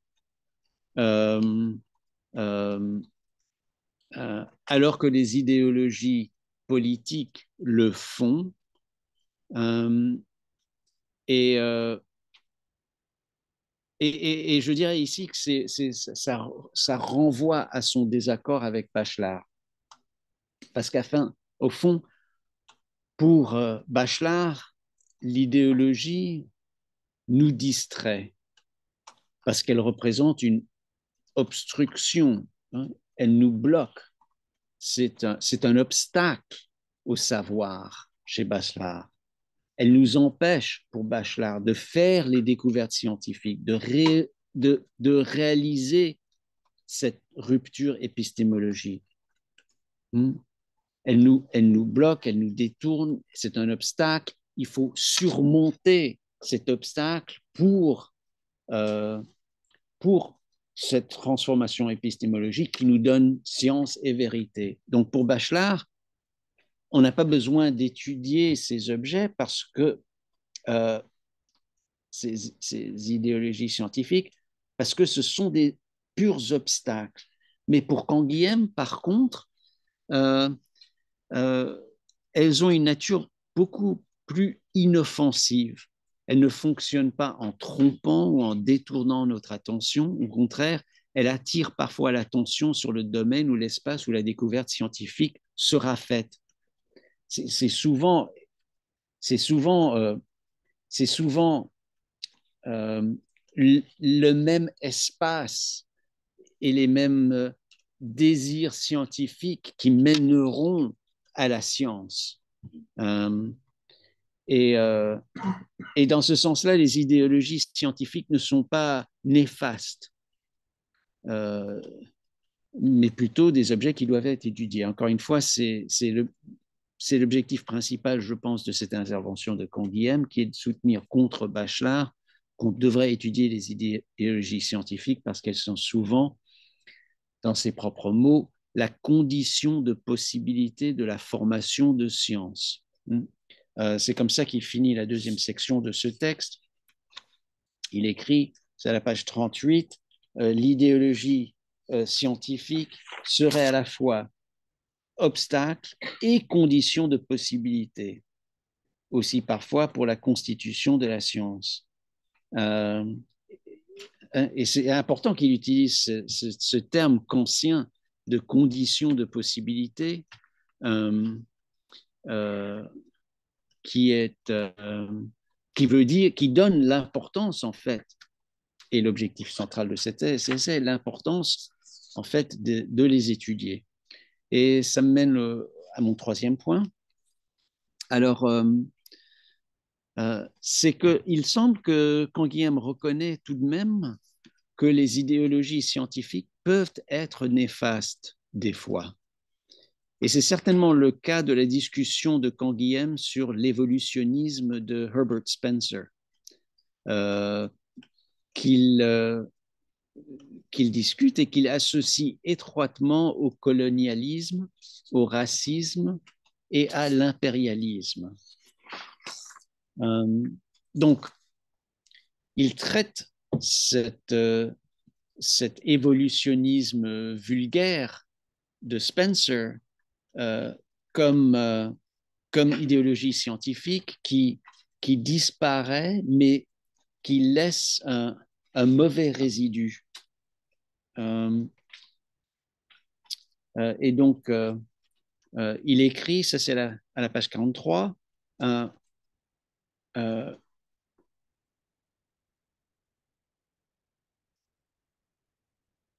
Cette idéologie a pourtant coloré plus ou moins durablement les recherches de linguistes et d'ethnologues. Elle a, chargé d'un sens durable le concept de primitif. Elle a donné bonne conscience aux peuples colonisateurs. On en retrouve encore des restes agissant dans la conduite des sociétés avancées envers la société dite en voie de développement. Et, euh, euh, et il dit que ça, pollue euh, les sciences sociales. Euh, euh, l'évolutionnisme est un résidu inopérant de l'histoire des sciences humaines au XIXe siècle. Donc, l'idéologie peut avoir ses attributs négatifs dans le contexte d'idéologie scientifique. en même temps, ils peuvent former la condition de possibilité de la formation de la science. Il y a donc une ambivalence euh, chez Canguilhem. Euh,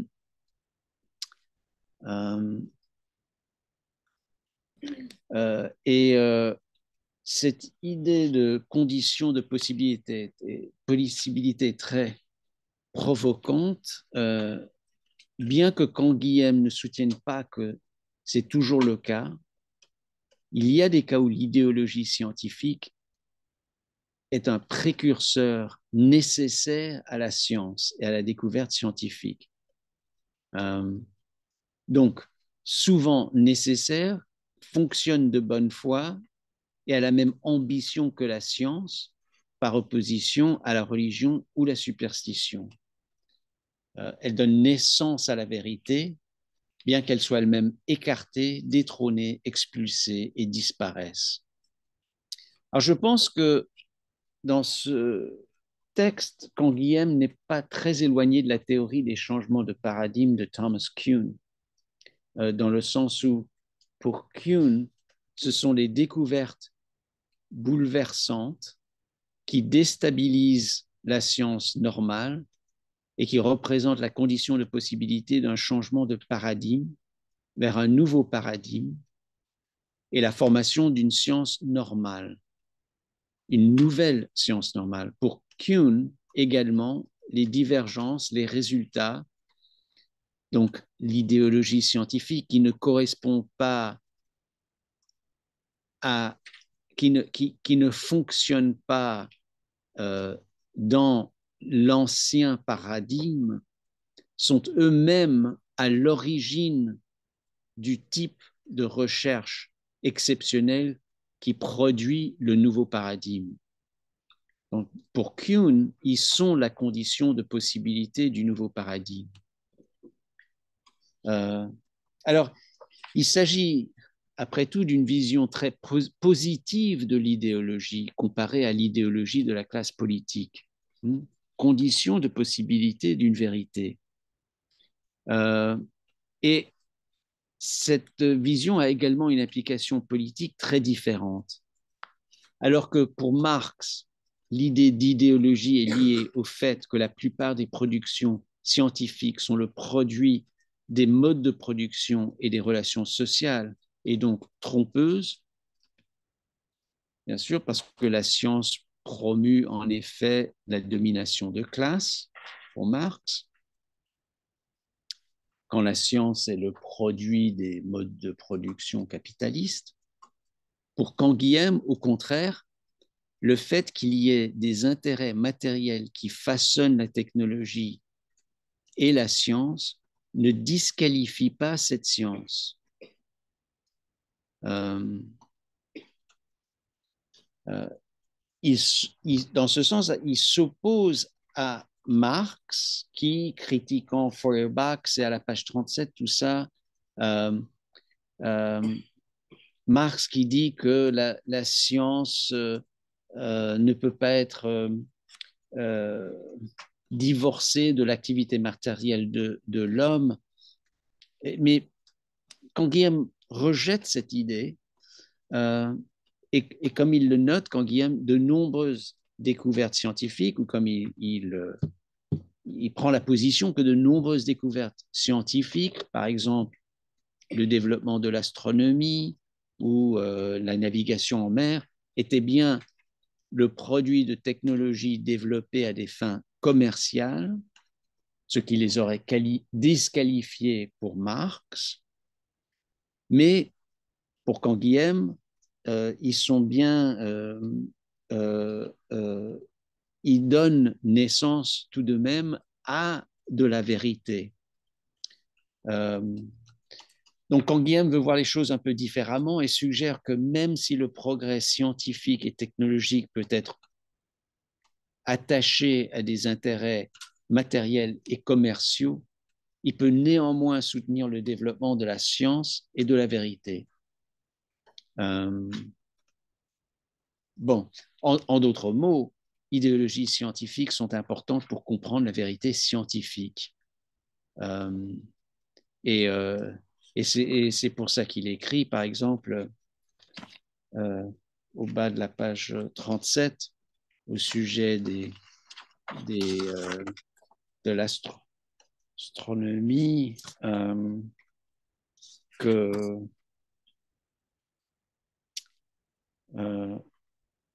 qu'en fait on peut voir des reflets, des reflets de technologies et économies qui ont été euh, euh, commercialisées, euh, newtoniennes par exemple, dans, les, dans les recherches contemporaines sur les satellites artificiels, etc. donc, les conditions matérielles, les intérêts commerciaux ne compromettent pas nécessairement la possibilité d'une autonomie de la vérité et de la science. Elle peut être quand même, il, peut y avoir autonomie de la vérité, même si elle est produite par des mécanismes qui sont euh, tainted, euh, qui, sont, euh, qui sont pollués par euh, par le capitalisme.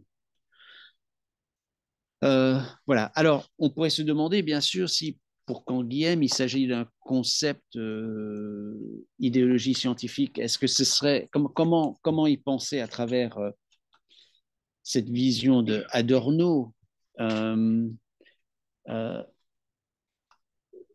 Je crois qu'il est assez clair que pour Canguilhem, tout tourne autour de cette question de vérité. Donc, certainement, ça satisfait euh, la demande d'Adorno qu'on ne parle pas d'idéologie sans se référer à la vérité ou fausseté du contenu.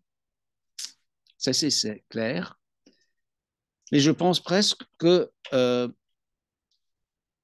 je dirais presque que c'est trop axé sur la vérité. Euh, et il, me semble en fait que euh, cette distinction qu'il crée entre idéologie et science, bien qu'il dit que l'idéologie scientifique n'est pas fausse science, est, presque trop axée sur une conception de la science comme vérité. Hein. Euh, je trouve ça assez surprenant du reste. Euh, je, vous ai donné, je vous ai donné un lien à un entretien entre Canguilhem et Badiou euh, de 65 aussi, si ça vous intéresse. Euh, parce que aussi, je, ressens que cette équation de science et vérité me, me semble très, très contient euh, Auguste Comte, trop, trop contient euh, et, euh, est très loin de, la pensée de Foucault. Bon, mais aussi, je pense que je ne sais pas si ça nous donne les meilleures ressources pour utiliser le concept d'idéologie d'une manière critique. OK. mais je pense que à, cette époque, certainement dans les années 60, euh, il y avait cette utilisation d'idéologie pour faire euh, du travail de vérité. Et je crois que c'est ce qu'on voit chez Sartre. Alors, euh,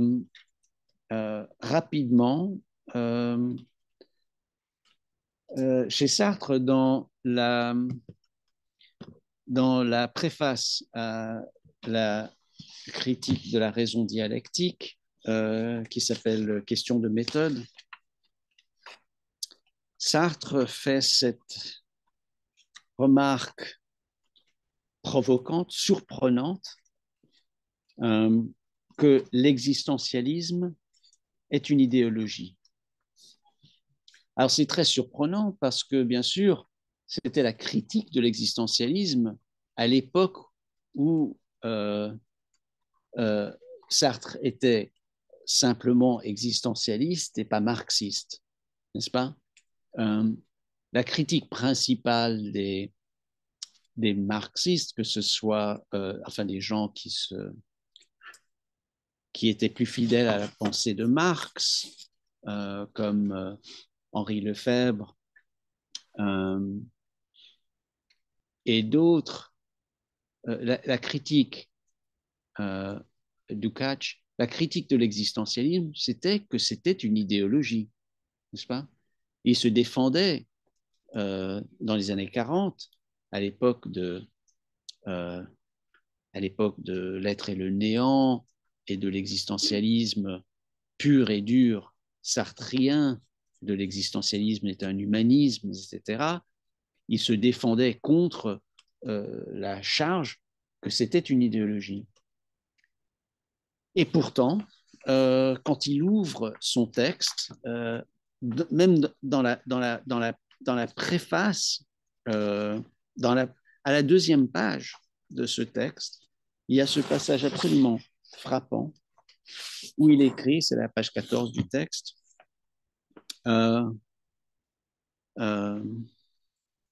au sujet d'une anthropologie structurelle et historique, il écrit Elle trouve sa place à l'intérieur de la philosophie marxiste parce que, comme on le verra plus loin, je considère le marxisme comme l'indépassable philosophie de notre temps, et parce que je tiens l'idéologie de l'existence et sa méthode compréhensive pour une enclave dans le marxisme lui-même qui l'engendre et la refuse tout à la fois. Du marxisme qu'il a ressuscité, l'idéologie de l'existence hérite deux exigences qui tient lui-même de l'hégélianisme, etc.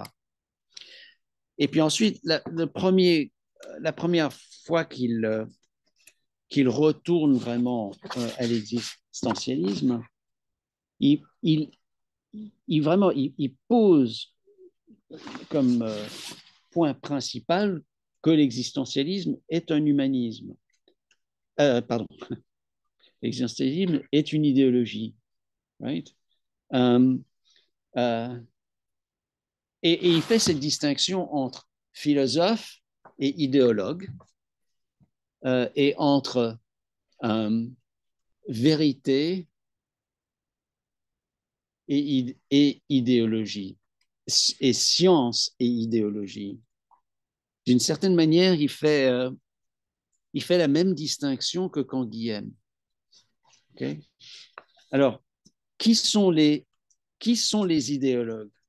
Eh bien, les idéologues, c'est ceux qui ne sont pas les philosophes.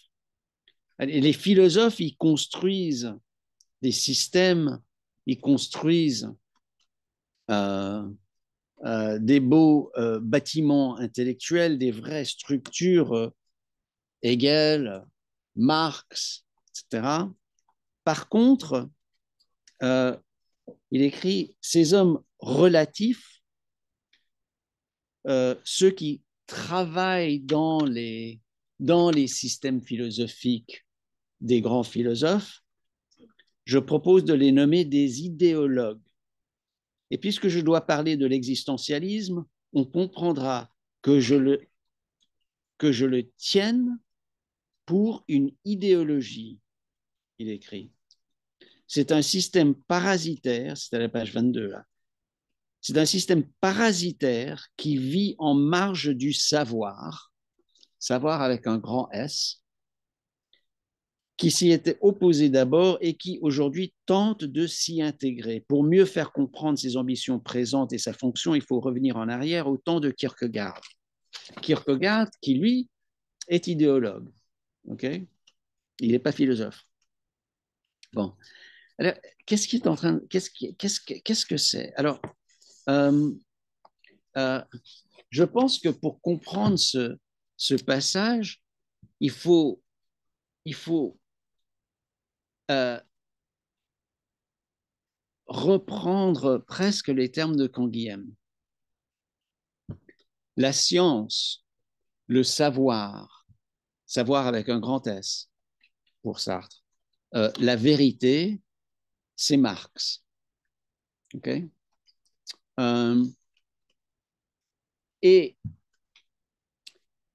parasitaire de côté, avec des intentions d'être du savoir, avec des intentions d'être euh, de, la, de la science, existe l'existentialisme, qui n'est qu'une simple idéologie scientifique,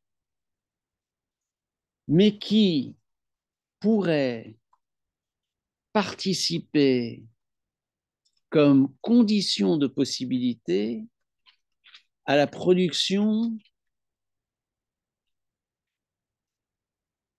de la science marxiste euh, plus raffinée, disons. Pourquoi? Parce que le système et la science marxiste est, euh, est, est détournée par le marxisme vulgaire. Et le marxisme vulgaire euh, ne, comprend pas l'importance que les acteurs s'impliquent, que les acteurs euh, agissent. Le marxisme vulgaire est un déterminisme historique qui ne tient pas en compte la nécessité qu'il y ait activité par euh, les acteurs, par, euh, par les humains. Et donc, c'est euh, l'existentialisme qui, qui n'est pas science, mais simplement une idéologie scientifique qui a des prétentions euh, de la vérité, est utile et nécessaire pour, pour, pour que la vérité marxiste soit complétée dans un sens. Hein et, je crois que c'est ça exactement, euh, euh, exactement ce qu'il qu'il propose. Et ce qui est intéressant, c'est que ça lie idéologie, encore une fois, enfin, ce qui est important dans l'idéologie existentialiste, c'est la relation à la praxis. Et je crois qu'on l'entend le mieux, euh, enfin, je crois qu'on l'entend à travers ce, je crois qu'on l'entend à travers ce texte, texte qui, au moins dans deux autres passages, utilise le terme idéologie d'une manière euh, vulgaire commune. Il parle euh, euh, des concepts comme armes contre l'idéologie montante à la page 41.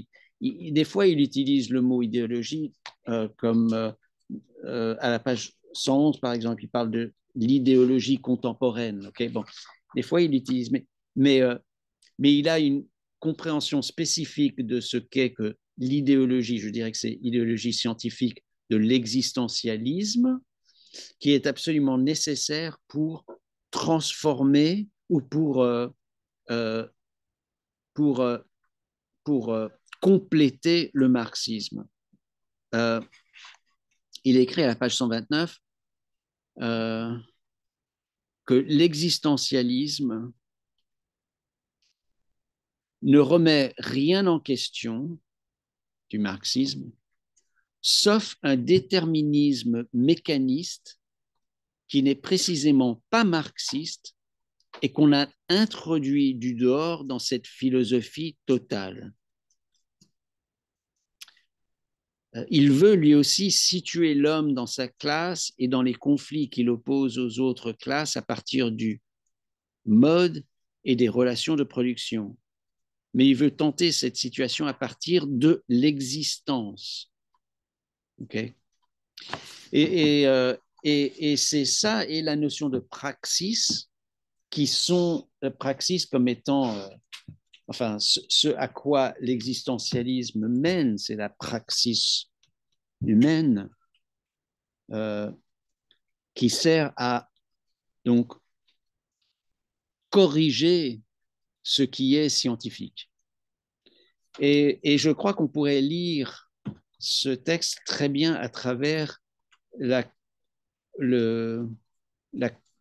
l'idée de Canguilhem de euh, l'idéologie scientifique. Bon, alors, euh, quelle serait donc l'hypothèse centrale pour aujourd'hui? Et euh, vous, vous, allez m'excuser de prendre cinq minutes de plus, mais aussi de, de ne pas finir mes, mon plan. bon, et puis on continuera. Donc, euh, mais euh, qu'est-ce que j'extrais de, de, cette discussion d'idéologie comme étant euh, comme étant un concept intermédiaire, c'est que l'idéologie, selon moi peut-être, c'est le fait d'avoir des idées sans avoir jamais pratiqué dans le domaine de ces idées. Donc il s'agit d'une question d'idéologie par rapport à des connaissances fondées sur la pratique. Et donc je mettrai le contraste entre théorie pure, idéologique, contre théorie orientée vers la pratique. Et c'est l'élément matérialiste qui serait lié à la praxis, qui pourrait nous ramener un peu au matérialisme de Simone Weil, euh, aussi au matérialisme de, de, Sartre, et certainement aussi au matérialisme de, du jeune Foucault, qui est important à comprendre cette distinction entre ce qu'on pourrait penser être idéologie et, euh, euh, euh, une, une, une, une, théorie critique fondée dans la pratique. Alors, très rapidement, il faut bien comprendre que c'est intéressant. Simone Weil se disait matérialiste. Du reste, on trouve dans un passage remarquable, elle était vraiment prise par le matérialisme de Marx, mais elle disait que, en fait, ni Marx, ni les, marxistes eux-mêmes étaient matérialistes. Euh, euh, elle, elle, parle de la méthode matérialiste comme étant cet instrument que nous a légué Marx, un instrument vierge elle écrit Aucun marxiste ne s'en est véritablement servi, à commencer par Marx lui-même. La seule idée vraiment précieuse qui se trouve dans l'œuvre de Marx est la seule aussi qui a été complètement négligée. Il n'est pas étonnant que les mouvements sociaux issus de Marx aient fait faillite, elle dit. Et pourquoi? Qu'est-ce qu'elle voulait dire? Ben, C'était ça. C'était son. Elle était vraiment elle dédaignait les penseurs marxistes qui n'avait jamais connu l'expérience euh, euh, prolétaire. Euh, et elle en parlait même de, elle, en parlait de Trotsky et de Lénine aussi. Trotsky qu'elle connaissait, du reste, Trotsky avait passé quelques jours chez elle, hébergé chez elle en 30, en 33, en décembre 33, elle avait hébergé Trotsky. Trotsky, du reste, aurait déclaré que vous pouvez dire que c'est chez vous que la quatrième internationale a été fondée, apparemment. Euh, mais de toute façon, euh, pour euh, elle était vraiment, elle était vraiment fâchée d'une certaine manière que les, penseurs marxistes n'avaient pas expériencé ce que c'était que de travailler dans une usine. Elle avait écrit à son amie Albertine Thévenon, quand je, c'est, écrit, quand je, quand je pense que les grands dirigeants bolcheviques prétendaient créer une classe ouvrière libérée et qu'aucun d'entre eux, Trotsky sûrement pas, Lénine non plus, je crois, n'avait mis les pieds dans une usine et n'avait donc qu'une idée très vague des conditions réelles qui déterminaient la servitude ou la liberté des ouvriers, euh, euh, elle était ahurie. ok? Euh, et donc, c'est ce côté-là euh, de, la praxis comme matérialisme essentiel à la pensée. je, j'allais, ah, bon, j'allais vous donner un exemple contemporain pour essayer de donner de la définition. je vais le faire en deux minutes. Excusez-moi. OK. Et j'ai mis le lien. C'était une controverse qui s'est passée il y a un an à, à, à Columbia, euh, dans, mon, dans, mon, dans mon centre, euh, The Initiative for a Just Society, une controverse sur une, prison féministe qui allait se, faire, euh, qui était proposée. Et c'était l'idée, c'était que, euh, comme vous savez, il, y a eu tout un mouvement pour close Rikers. Rikers, c'est la, la maison de détention, la maison d'arrêt euh, pour Manhattan, pour New York City. Et, et, ils sont en train de construire une, une autre maison d'arrêt dans le, dans le Bronx, dans Queens, où ils auront une, un espace pour 400 femmes incarcérées. Et, un groupe euh, euh, contenant beaucoup de femmes qui étaient incarcérées a proposé de transformer un bâtiment euh, dans Manhattan pour créer un endroit qui aurait 100 lits pour les femmes incarcérées et qui allait être, qui allait être managed par des groupes de, dans la communauté. Plutôt que, bon, il y aurait de la sécurité en dehors, mais l'intérieur a été a été géré par euh, des, des, des, ONG euh, et des groupes euh, de la communauté. Et c'était toute une controverse. et dans mon, dans mon centre, il y a eu des. C'était très difficile parce que d'un côté, j'ai parmi mes collègues des personnes qui ont été incarcérées, y inclut euh, une femme euh, qui a passé huit ans euh, en prison. Et elle était assez favorable à cette idée d'avoir d'avoir une maison d'arrêt qui serait gérée par la communauté pour les femmes. Et par contre, dans mon groupe aussi, j'ai des, abolitionnistes très, très convaincus comme euh, Derek Purnell, qui est l'auteur de euh, Becoming Abolitionists, euh, et d'autres, qui n'ont jamais été incarcérés, mais qui étaient complètement opposés à cette construction de la, de la, de, la maison d'arrêt. Et je peux dire que ça, ça, ça a tapé dur. je, dis, je dirais que mon petit centre boîte encore maintenant, du fait de leurs positions différentes. Euh, et alors, la question, c'est est-ce qu'il y a de l'idéologie? Alors, bien sûr, alors, une chose que euh, les abolitionnistes disent, c'est que les personnes qui sont incarcérées, qui ont été incarcérées, qui prennent une position réformiste, euh, ont en fait une fausse conscience et donc, ils ont internalisé l'appareil sécuritaire en prison eux-mêmes. Euh, et donc, euh, c'est presque une critique idéologique de la position de personnes qui ont été incarcérées, qu'ils ne, qu'ils ne, qu'ils n'ont, qui, qui, qu'ils ne, qu'ils ont, qui sont devenus un peu, c'est un peu comme la critique euh, idéologique, qui sont devenus un peu capitalistes, quoi. mais ils sont devenus un peu sécuritaires, ok? Euh, et, euh, et donc c'est ici où je pense que on pourrait peut-être, moi, il me semble que je, je, je, je ne peux pas critiquer de la même manière quelqu'un qui a vécu à l'intérieur de la prison. Euh, et ça, ça a à faire avec cette idée que peut-être l'idéologie, en fait, c'est c'est pas la fausse c'est pas la fausse conscience. L'idéologie, c'est de parler d'idées qu'on n'a jamais vécues hmm, soi-même. Euh, euh, et donc, je crois que euh, dans ce contexte-là, euh,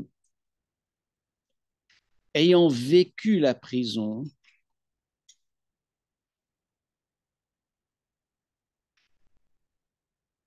on ne on n'exprime plus simplement une idéologie. Euh, et ce n'est pas une question de fausse conscience, ce n'est pas une question d'idéologie, je crois qu'on peut avoir des désaccords de fond. et, moi, j'ai pris la position, j'ai mis ma lettre euh, ouverte euh, sur la prison féministe dans les ressources, là. J'ai pris la position qu'il fallait être très, qu'il faut être, qu'il faut, euh, qu'il ne faut pas simplement se defer complètement aux personnes qui ont été incarcérés, euh, mais qu'il faut ne pas les accuser de fausse conscience ou d'idéologie, euh, parce que en fait, ce qu'ils ont, c'est un, une connaissance, une pratique, un matérialisme, une relation matérielle à, à ces questions qu'on ne peut pas simplement euh, dismiss, qu'on ne peut pas mettre de côté et que finalement, euh, c'était simplement, pour moi, c'était simplement une question de, de, ce que je pensais allait euh, en devenir de ces prisons et de, de la question et, et, et, du, et du nombre de euh, cellules pour femmes qui existeraient dans New York à la, en fin de compte. Ma position, c'était que ils étaient en train, ils sont en train de bâtir euh, ce, cette prison pour les femmes euh, en Queens.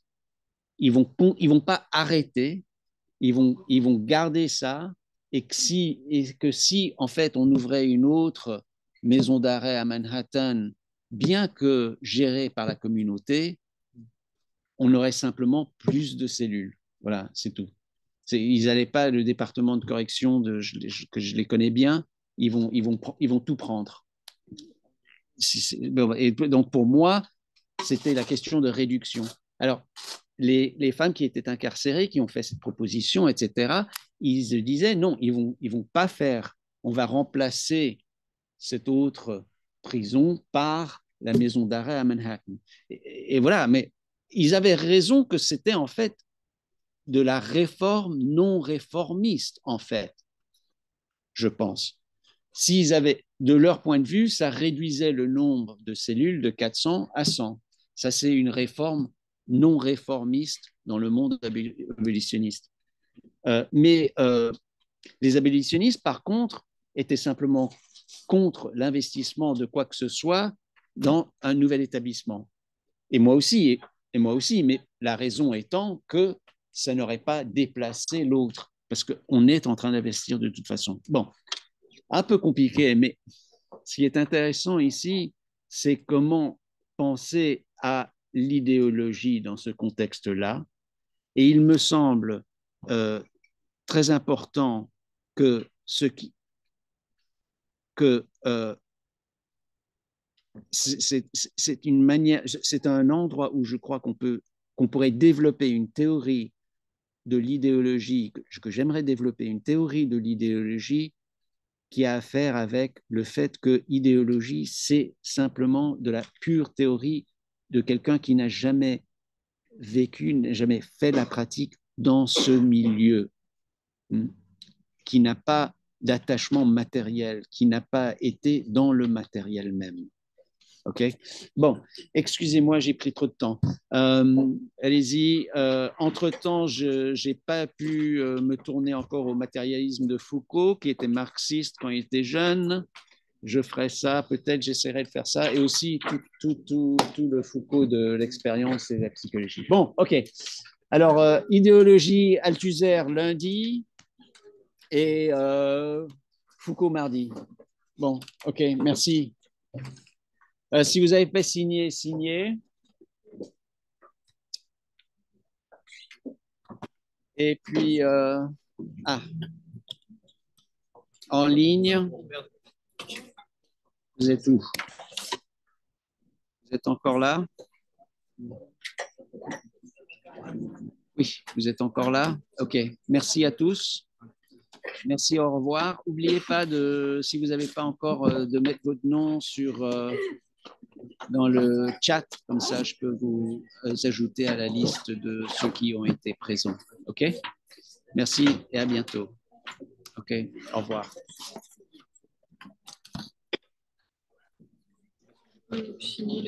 Oui, bien sûr.